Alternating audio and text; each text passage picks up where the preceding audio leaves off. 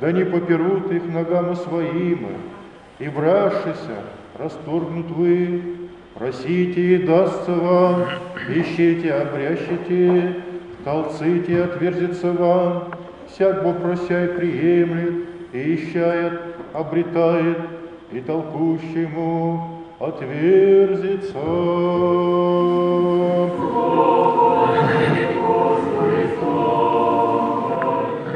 Митрополит Германии, Господи наши, Преосвященство, Епископ Елисей, и все во Христе, братья наши.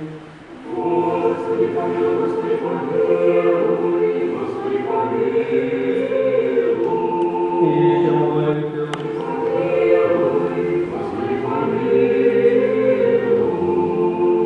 Во всем поспешится всем во благое, Господи, милостно и рабом Твоим, организатором, участникам епархиальных рождественных чтений, поспеш- поспешествуй, спаси и во благополучие совершение делай, спешно произвести благослови, молим Тебя, всем, всемогий Владыка, услыши и помилуй.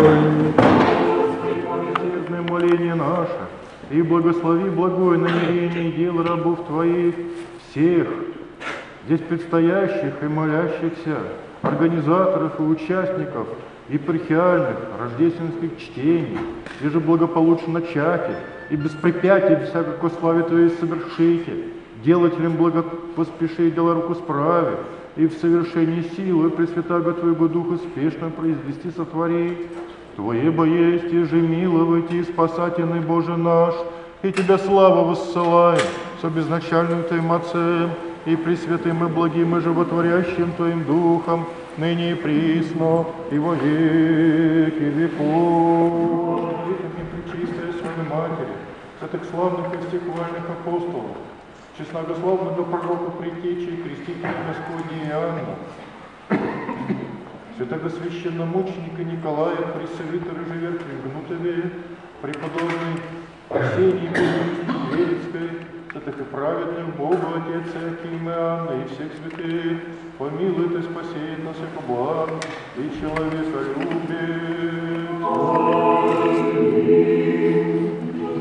Сестры, все, кто прибыл сегодня на традиционно уже ставшие нашей епархии рождественские чтения, четвертое, с вами уже. Вот. Я желаю вам доброй, хорошей работы, во славу Божию и для вашего спасения и тех, кому вы будете нести то слово, которое вы здесь услышите. Милости вам Божия, Господь с вами. Спасибо.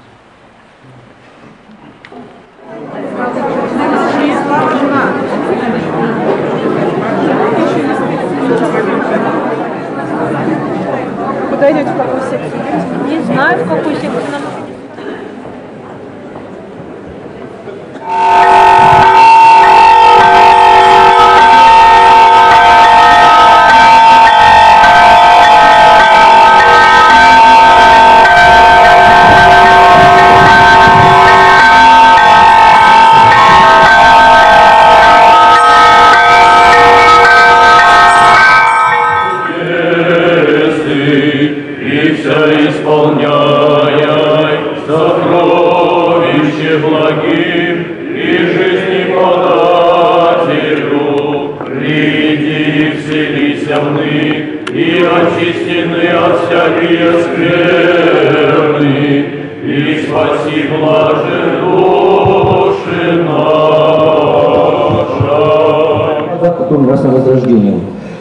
Причем нам войти вот это русло, эмоциональное русло, я предлагаю посмотреть нам буквально небольшой 7-минутный ролик. Будьте добры, пожалуйста.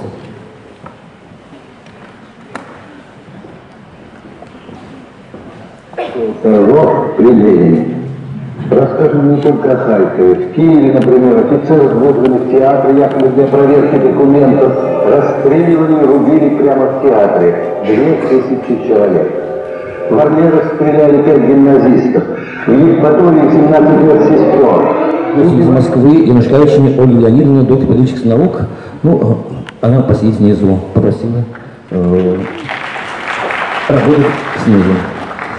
Итак, первоначально, друзья, конечно же, Подобие, уважаемый Василий Васильевич, вот, гости, приехавшие, главы образований районных. Мы рады приветствовать вас и вас также педагоги, учителя и учащиеся, э, так можно сказать, которые трудятся на ниве образования. Очень рады вас приветствовать на четвертых чтениях, которые приходят, э, рождественские чтения, которые проходят в городе Фролово. Чтение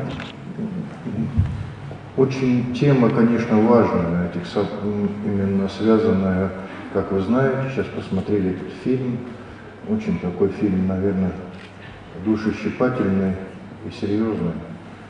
Равнодушным оставаться нельзя, конечно. В этом году наши чтения посвящены столетию величайшей трагедии русского народа. 1917-2017 год. Уроки столетия от культурно-нравственного распада к культурно-нравственному возрождению. Так они называются. Это наше епархиальное чтение, а уже общецерковные, как вы знаете, будут проходить по этой же теме в январе месяце в городе Москве. От культурно-нравственного распада к культурно-нравственному возрождению. Тема, конечно, очень такая, очень важная, потому что она всех нас тро- трогает, затрагивает, и мы не можем оставаться к ней равнодушными. Но наша задача не только вспомнить, что было, и извлечь уроки из столь трагических событий. И эти уроки, точнее выводы от уроков вложить в свою образовательную деятельность. Многие сейчас говорят о том, что в течение 70 лет после революции мы выстроили сильное государство. Мы победили фашизм. Мы восстановили разрушенное хозяйство и экономику. Мы полетели первыми в космос. У нас было бесплатное образование медицина, и мы были счастливыми людьми. Счастье на крови великие достижения на трагедии – это не достижение, это поражение наше. Во-первых, хотя бы потому, что главная ценность – это человек. Ради человека уничтожать другого человека – это не победа. Во-вторых, вспомните Федора Михайловича Достоевского. Никакое счастье человека не стоит слезинки ребенка. А сколько боли было испытано нашим народом. В-третьих, кто из защитников социалистических завоеваний, они говорят, что благодаря революции у нас было много изменений в жизни, мы стали жить лучше, может констатировать,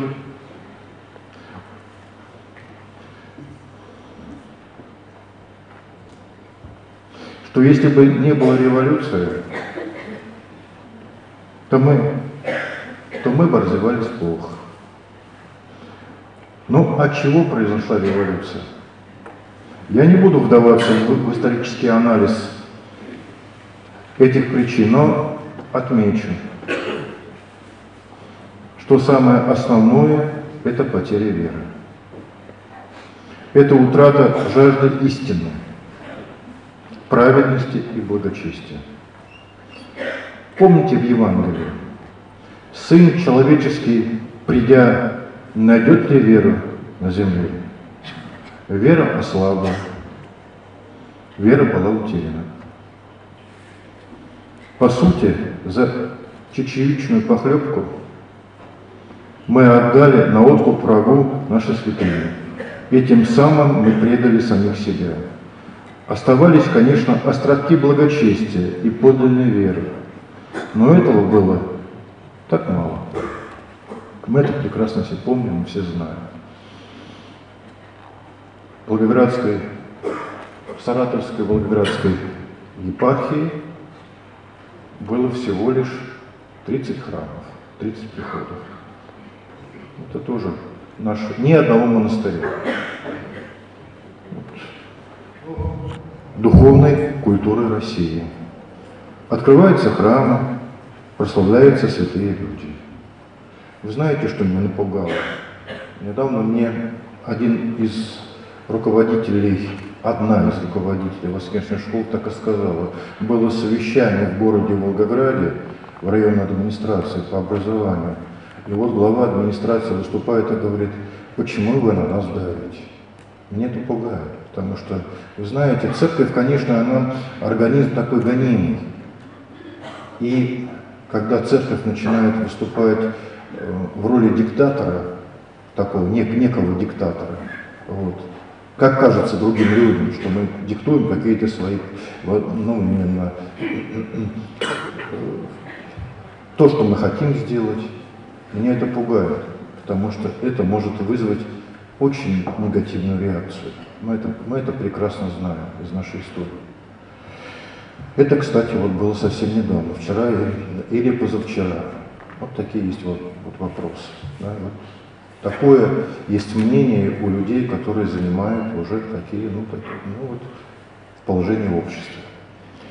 Однако, я продолжу тему доклада, однако семинарии пустеют. Все меньше и меньше желающих идти по, по, по, по пути священства. Не так уж много детей ходят в храм Божий, в воскресные школы, не заполнены учащимися. Мы проводим оглашение взрослых перед крещением детей, но вера в них не обретается.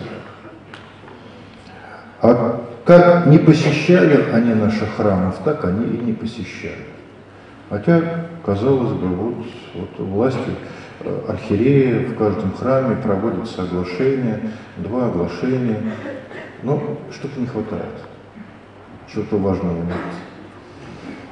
Наверное, жизни это такой, которая могла бы вот как бы нас подвинуть к такому, к такой деятельности. Выбор основ православной культуры не растет, а в некоторых местах даже уменьшается. Вот как ни странно, у нас один из самых маленьких показателей выбора этого предмета в Серафимовическом монастыре, где, где, казалось бы, люди приезжают со всех, как бы, в Серафимовическом районе, простите, где, казалось бы, люди приезжают в монастырь, каждое воскресенье там множество народа, а вот оказывается, там меньше всего детей, то есть родители, которые бы выбрали этот предмет основы православной культуры, к сожалению. Это о чем-то тоже говорит. И меня это тоже тревожит. Это ли не признак того, что мы катимся под откос? Там, где не будет веры, там будет трагедия. И исторические события нам об этом говорят прямо. Так называемые верующие в кавычках взрывали храм, снимали кресты, разбивали колокола, предавали людей и изничтожали все самое дорогое для русского народа. Если в 13-14 веке они вставали на защиту своих святынь, то сто лет назад, как мы знаем, сами уничтожали эти святыни. С распадом веры распад культуры. Тут преподаватели находятся. Даже Пушкин был откинут на задворке культуры и образования. Совсем другой в позиции понимали. Даже тут его повесть «Капитанская дочка». Это все помню. Я тоже в школе учился. Нравственный стержень сломан, и ничего хорошего не могло удержаться на древе культуры. Лишь потом, опомнившись, стали постепенно что-то восстанавливать. И вот прошло сто лет. Но изменилось что-нибудь в самой вере. На первый взгляд, как будто бы все неплохо. А веры нет. А желания жить по воле Божией нет. И исполнять главнейшую заповедь, заповедь любви, тоже нет. Эгоизм в своем превозношении достигает апогея, а по уменьшению любви уничтожается благочестие. Так найдет ли Сын Человеческий, большой буквы, Сын Человеческий, веру на земле? Мы с вами собрались ради того, чтобы обсудить вот эту проблему. Как на местном уровне поднять, или, скажем, так, открыть людям богатство нашей веры. Как заложить то маленькое зернышко подлинного благочестия. А там, где оно заложено, попытаться его умело возвращать. К нам приехали гости из Москвы, Литвы, Волгограда. Совместно мы попробуем порешать вот эти образовательные и воспитательные проблемы. Я вам очень благодарен. Персонально приветствую вас, Ольга Леонидовна. Вас, Вячеслав Александрович. Вас, Татьяна Алексеевна. Анатольевна, простите. Ну, Василий Васильевич уже приветствовал. Приветствую и глав образования, кто приехал, кто откликнулся, кто понимает эту задачу. Вы знаете, э, буквально позавчера у нас произошло очень ну, событие, значимое для всей области. Это прославление великой местной чтимой святых игумена Арсения Светлякова. Я благодарил Андрея Ивановича Бочарова, губернатора нашей области, за то, что он понимает, что нужно делать. Он понимает именно задачу, именно, что без духовно-нравственного воспитания хорошего ничего не будет. И этот праздник был подготовлен благодаря тоже его такой деятельности.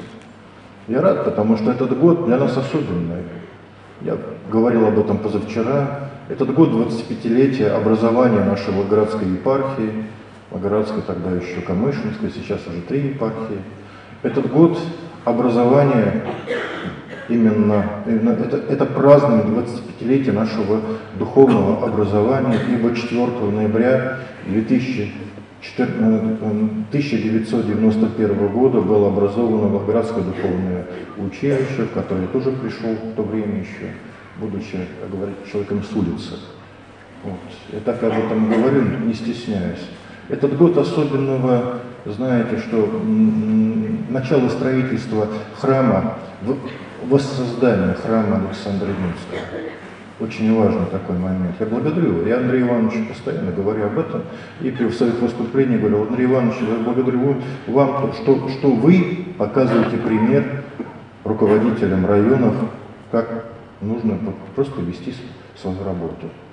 И этот год для нас, конечно, вот то, что в этом году мы, не мы, а Священный Синод своим решением 21 октября этого года было принято решение о канонизации великой местной чтимой святых игумени Арсения Серебряковой. Для меня это очень важно, для меня очень, это очень, конечно, почетно и, и, и радостно, ибо сама игуменя Арсения, вот вы поймите, вот сидящие здесь, да, с чего она начинала? 31 год было молодой женщине, которая приняла на себя игуменскую должность. Молодой человек, по сути своей. Вот, вот здесь сидит отец Михаил Коновалов на территории храма, где он является настоятелем Митрофана Воронежского, похоронены родители игумена Арсения. Вот. И вы представьте, что это человек, который на себя возложил на такую, такую вот именно ответственность, безответно, вот молодая девушка, молодая, решила уйти в монастырь. Прекрасная, красивая девушка, прекрасная пара для любого молодого человека.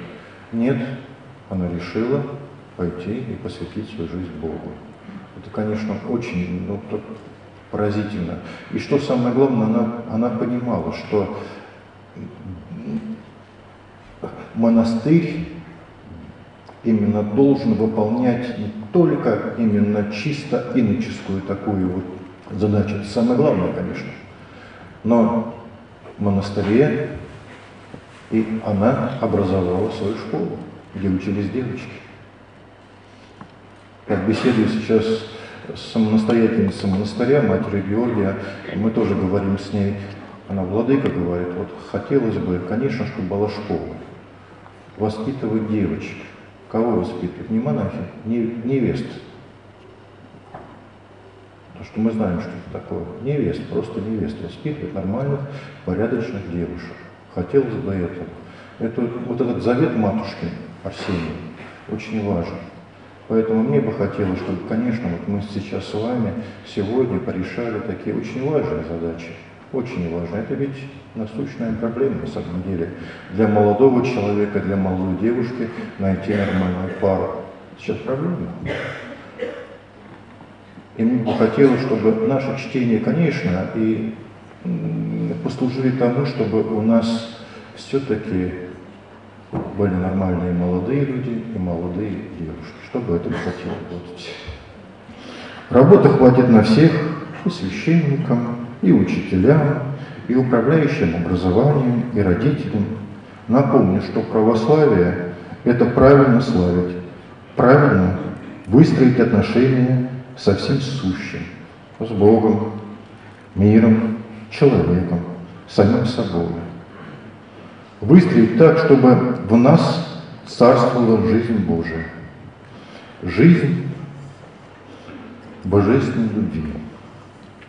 Чтобы богозданный порядок не был разрушен.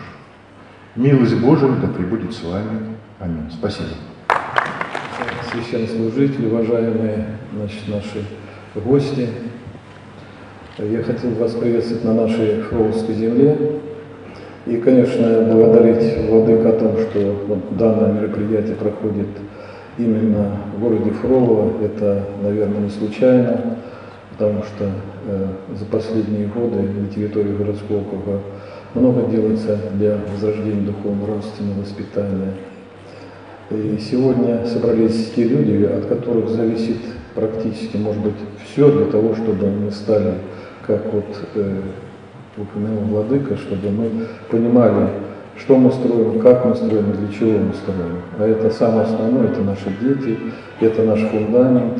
И как мы воспитаем, так мы и пожнем те плоды, которые, э, в которых мы вложили что-то. Я как человек э, хозяйственник и рассуждаю совершенно, конечно, со своей стороны, э, вот мы все делаем, принимаем какие-то законы, какие-то нормативные правовые акты и все остальное прочее для того, чтобы мы жили лучше, чтобы мы там не сорили, там лучше у нас выглядело и так далее. И сам себе задаю вопрос. То, что сказал Владыка. А зачем какие-то нормативные правовые акты наказывать людей, то, чтобы они не сорили, то, что мы создаем, они берегли, когда это можно воспитать изначально. То есть мы с вами, то есть мы являемся вот преподавательский состав, который здесь есть, это есть тот фундамент, который воспитывает наших людей. К нам же не приехали сюда инопланетяне, и не сорят, там, не разрушают вот, те памятники, о которых говорили мы. Это же наши люди. И вот Владыка подчеркнул именно об этом, чтобы мы понимали, никто не давлеет над нами, вот, как я э, глава городского округа, но как мы можем выражаться о том, что а вот, э, церковь там давлеет, мы, наверное, должны запрягаться, а, все в одно дело поставить перед собой какую-то цель и к ней идти. Я просто поделюсь своими вот э, как бы впечатлениями, потому что э, здесь э, практически вот часть половины нашей области здесь. Вот мы с нашей вот церковью, вот отец Федор здесь сидит, вот ряд священников здесь, которые в сидят, мы это одно целое, мы решаем совместно, решаем те задачи, которые перед нами стоят, ставим цель и идем к ним. Вот э, у нас э, благодетель тоже Основной фундамент – это православная вера. Что бы мы ни делали, какие что-то с нами производстве. Владыка отметил фактически причины бездуховности, которые многочисленные авторы написала. Э, Я буду более подробно рассказывать на секции по православной культуре, потому что они посвящены именно преподаванию православной культуры в разных видах, и в гимназиях православных, и просто в светской школе в рамках ОРЦ. А сейчас я просто поговорю о каких-то общих проблемах, которые касаются воспитания личности ребенка и вообще образования. А, Во-первых, э, вот э, та, картина, которую уже обрисовали предыдущие докладчики, и то, что мы видели в этом фильме, это все, конечно, потрясает и ужасает. Но вот, э, тем не менее, я как работник образования могу э, сказать, что в советское время все-таки образование, э, хотя его там пытались всячески уничтожить разными нововведениями, нововведениями, тем не менее оно не было уничтожено. И все-таки советское образование было хорошим. Вот, э, ну, мож- может, это идет в разрез общий, так сказать, с общим настроением, но вот я констатирую тот факт, что в советское время все-таки образование было хорошим. Я вот в 2010 году один триместр э, работала в Америке, в Ахайском университете. Такой, ну, средненький университет американский. Я там математику преподавала.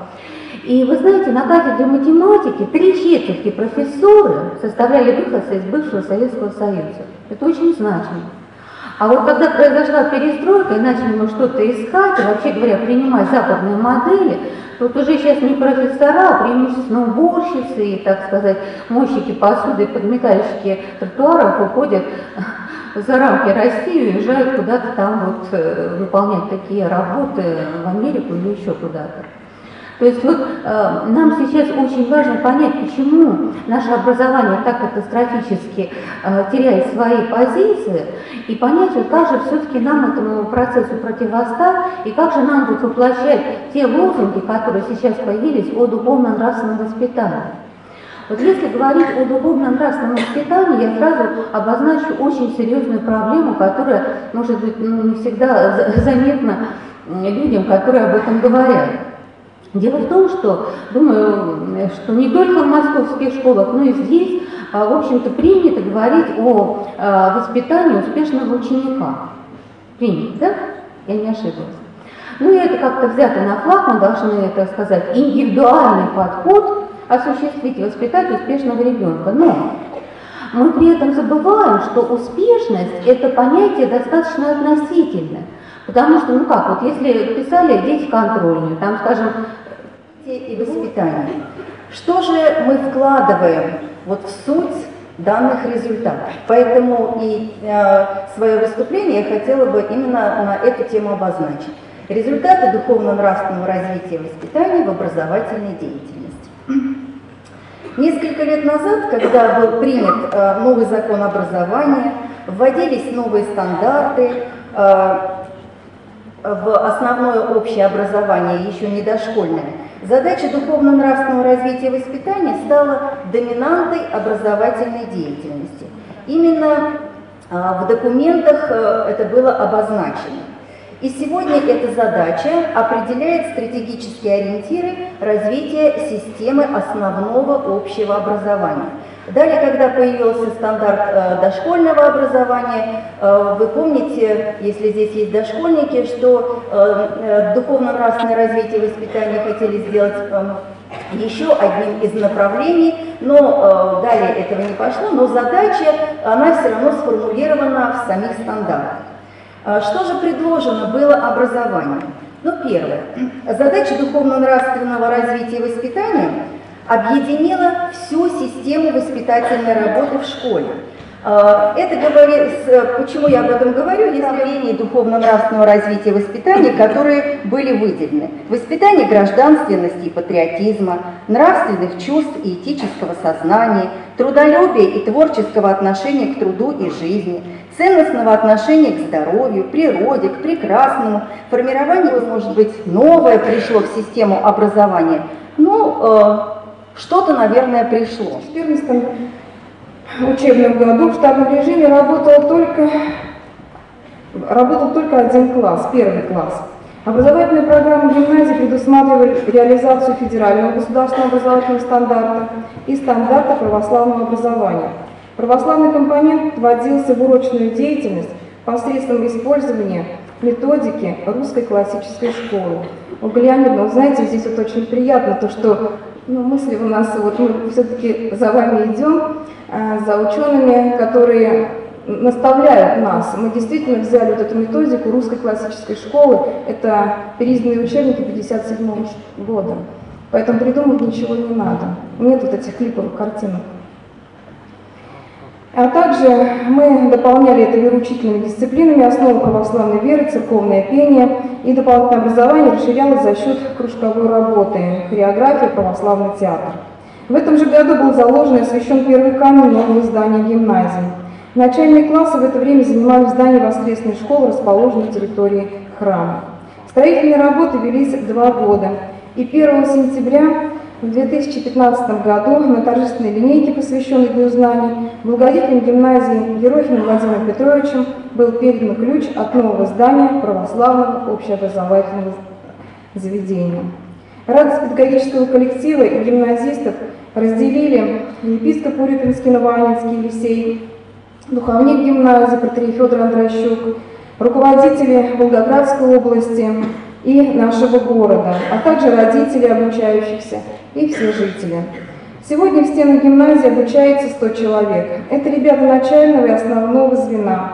Они их родители сознательно выбрали для себя православное образование, православный уклад жизни. Сегодня учениками гимназии являются администрация городского округа город Фролово, православный приход храма Богоявления, а также благодетель нашей гимназии Ерохин Владимир Петрович. Гимназия активно сотрудничает со всеми муниципальными образовательными учреждениями нашего города, средствами массовой информации, православным приходом, детской школой искусств, городскими ТОСами, Фроловским нашим центром социальной помощи семье и детям, центром детского творчества и детской спортивной школы. Об этом говорил о том, что э, проводят только лишь мероприятия, но э, не вживаясь в тот, тот образ, тот портрет, который мы должны все-таки получить, мы э, сейчас можем потерять себя, потерять, потерять своих детей. Вот смотрите, есть образ и подобие Божие, один из идеалов. У других людей, людей есть идеал, э, человек звучит гордо, да, такой э, фейербаховский человек Бог, да. У некоторых есть идеал, когда им пожить по своей глупой воле, не мешайте только мне. И вот вроде бы э, образование, федеральный стандарт, они говорят о личных результатах, личные результаты, туда входит и гражданин, идентичность, туда входит и э, исполнение норм, правил, там входит нравственность, там входит э, собственное мировоззрение. Посмотрите, и для образа подобия Божия как идеала, и для человека Бога, э, где человек звучит гордо, и для человека, который хочет по, по своей же глупой воле, все эти вещи результаты вполне приемлемы. А какого человека мы воспитываем? Когда-то Виктор Иванович Слободчиков сказал потрясающую вещь об образовании – образование как вояние, как созидание образа, как созидание идеала, основа следующее. Вы не сможете образовать человека, знание сможете дать, информацию сможете, но образовать не сможете, если не ответили на несколько принципиальных вопросов. Во имя кого ведется образование? Во имя чего ведется образование? И для чего ведется образование? Пока на эти вопросы каждый педагог для себя не ответы, он будет действовать, ну, по сути, автоматически, зная те положения, зная те нормы, он будет э, выкладываться в какой-нибудь КПД. Вот, пожалуйста, Варвара Караулова, МГУ, наверное, неплохое образование школьное поступил в МГУ. Но что за этим образованием? ИГИЛ, а там где ИГИЛ, там, по сути дела, убийство, там презрение, там своя гордыня, это не беда, поэтому должны мы с вами вжиться, всмотреться, вслушаться в, в, в самого человека, в наш образовательный процесс, те технологии, те методики, которые дают, то содержание, которое мы с вами преподаем. Я могу сказать здесь следующее, что, наверное, основным постулатом, постулатом, который связывает и э, светскую школу, и само православие, есть понятие жизни. У Христа Я привязан на жизнь и жизнь с избытком. Я есть путь истинной жизни. И у гуманистических философов сказать жизни «да», искусство жизни, благоговение перед жизнью. Вот на это мы можем высадить и поймать. Если в человеке есть это благоговение жизни, но жизнь, она имеет разные качества. Об этом когда в свое, время замечательный американский психолог Олберт. Она имеет разные качества. И мы должны определять, высвечивать, именно высвечивать. Мы просто не можем указать. Это мы должны проявить, как э, мы смотрим гадательно сквозь тусое стекло, и так проявить образ. И вот к этому образу, который мы проявляем, вести наших детей и, э, соответственно, созидать нашу страну. А, друзья, теперь, теперь, а, извините, еще несколько, несколько добавлений. Так в общем, этот образ проявился, появился в жизни, э, об этом заботится все-таки и Министерство образования, об этом заботится наша патриархия. У нас есть много замечательных конкурсов, как для детей, так и для учителей. И вот для учителей этот, этот конкурс за нравственный подвиг учителя. Я призываю буквально всех, кто может, э, кто ищет, участвовать в этом конкурсе. Пожалуйста, Академия постдипломного образования и э, я как отдел образования нашей епархии, мы сможем вам в этом помочь. Главное здесь не то, что мы э, с вами должны это место занять. Да мы вряд ли и займем так, хотя э, стремиться стать в этом отношении королем было неплохо. Но мы будем сами вот, проявлять для себя э, то, что нужно нашим детям. Когда мы будем сами искать, нам нужно начать подражать нашим исканиям наши же дети. Когда мы будем сами неуспокоенные, то и дети наши будут э, внутренне э, э, искать истину.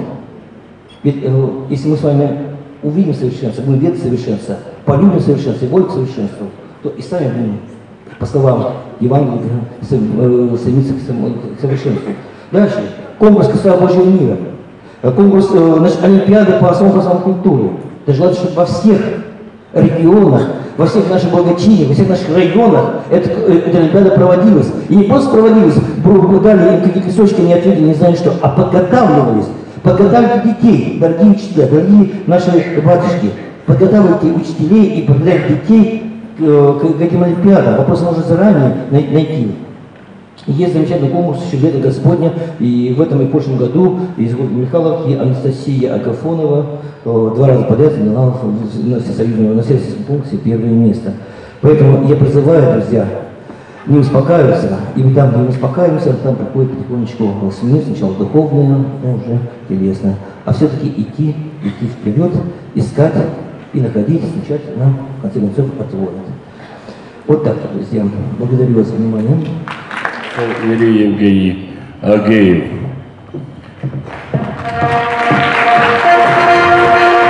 Клирик Богоявленского храма города Фролова, преподаватель ООН православного общеобразовательного гимназии, преподобный старший Украинский и среднеобразовательная школа номер 3.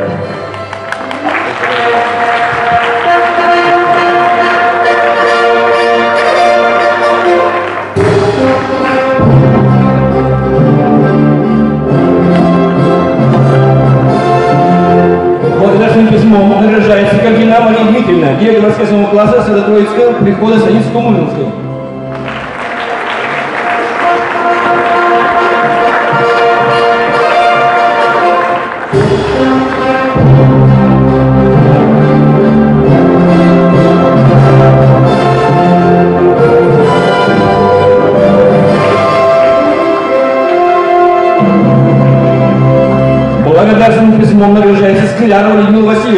Директора по воспитательной работе школы номер 5 города Михайловка.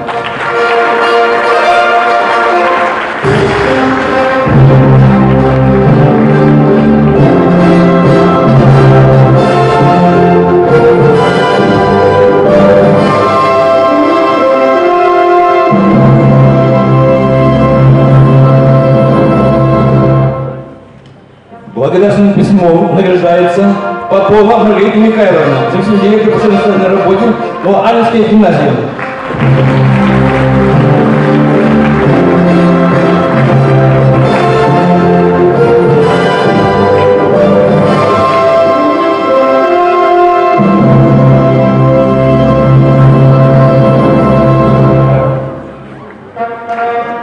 благодарственным письмом награждается Савелий помощь Богачину по религиозному образованию и катехизации.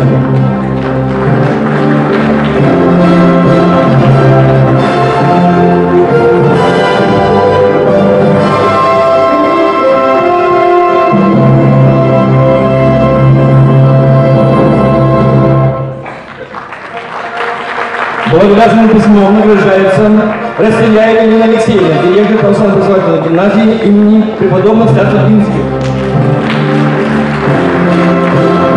Минских. Благодарственным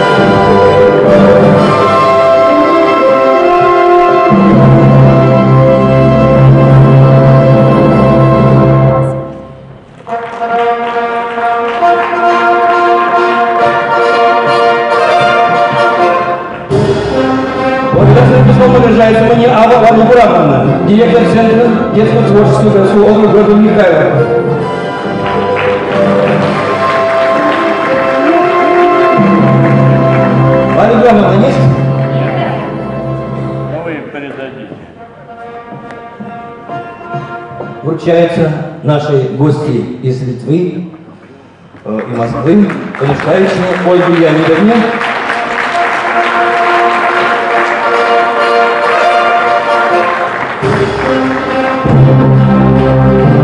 Вы знаете, у Рубинской иконы Божьей Матери, нашей э, святыни, нашей Рубинской э, епархии.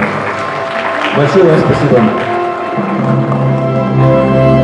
Друзья, можете тя Богородицу, пресноблаженную и непорочную, и Матерь Бога нашего, честнейшую Херувим, неславнейшую без сравнения Серафим,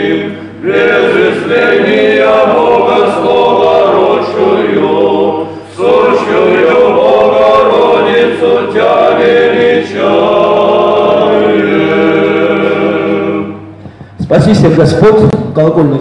Не только в нашей епархии, но вообще э, имеет огромнейшее, величайшее значение для э, всего сообщества. Э, Дело в том, что мы часто крутимся, как белка в колесе, в огненной суете, э, действуем как-то по наитию, по тем привычкам, которые у нас были раньше. Все-таки непосредственно это событие, сложное мероприятие, именно событие, оно дает нам возможность по-другому увидеть, почувствовать, услышать, да, э, познакомиться с каким-то опытом, да, э, проявить этот опыт, непосредственно включить его в свою деятельность.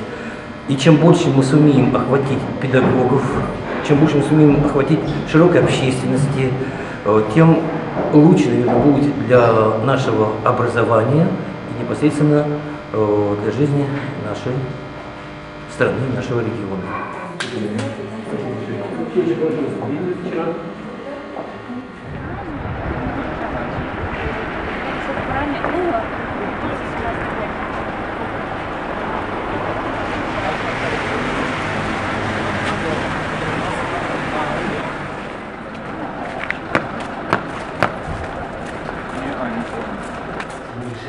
Как раз все русле того, что написано в документе митрополита Варсонофия.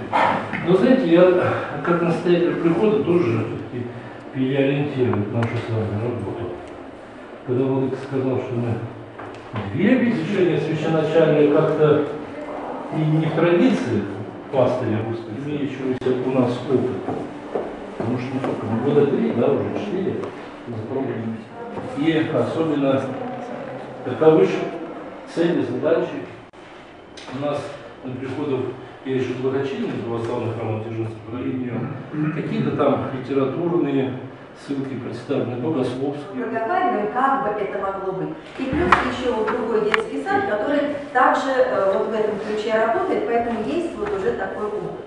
Э, Опыт наш э, мы представляли вот в Ханты-Мансийске я была. Сейчас через э, э, Академию профобр э, ведутся вебинары, и вы можете посещать та же самая ситуация, которую мы сказали, завлекаем, увлекаем, развлекаем детей. А происходит что-то, то есть недостаточно, час 40 минут недостаточно этого, наш построим следующим образом.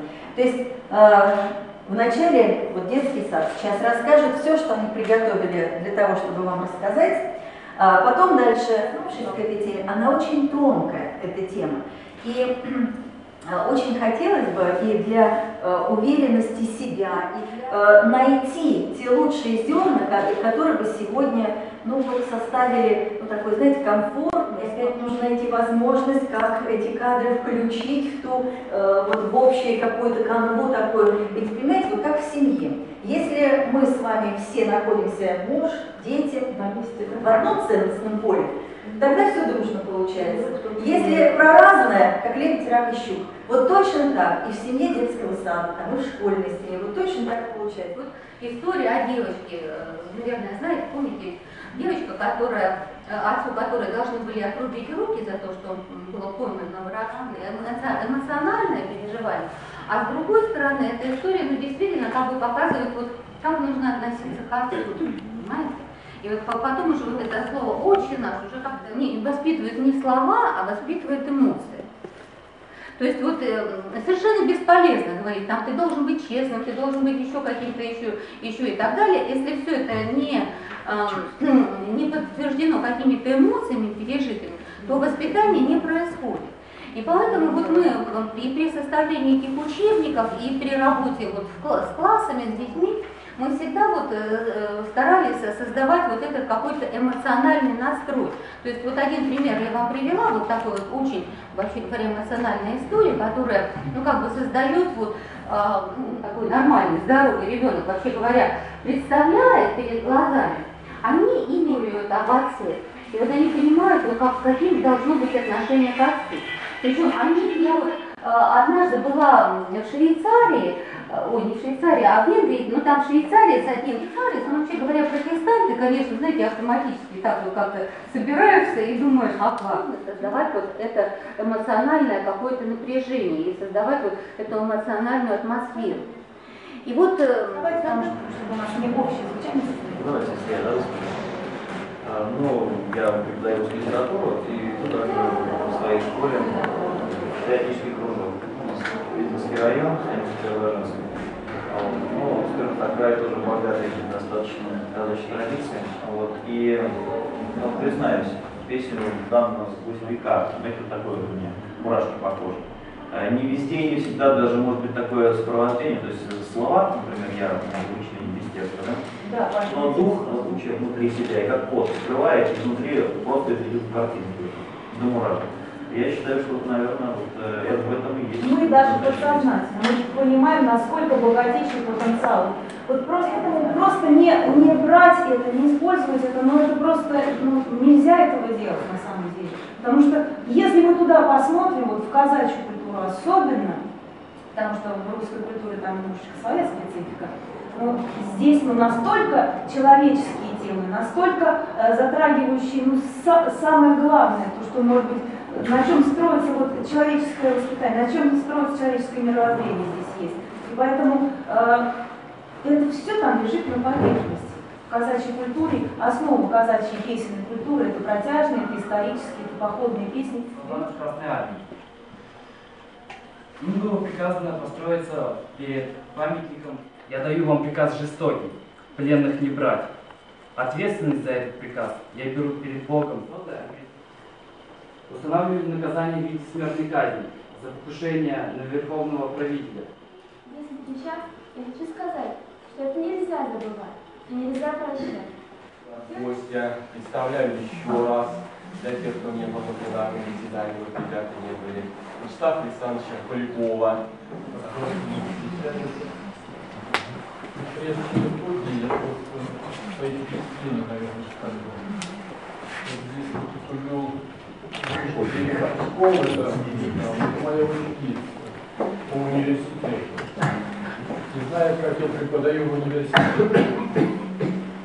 Как в университете, есть я не теряю контакты со школами, потому что у нас были сельские классы, дом ЕГЭ, 5 лет, в двух школах в Волгограде, я там преподавал. Сейчас в 13 2013 год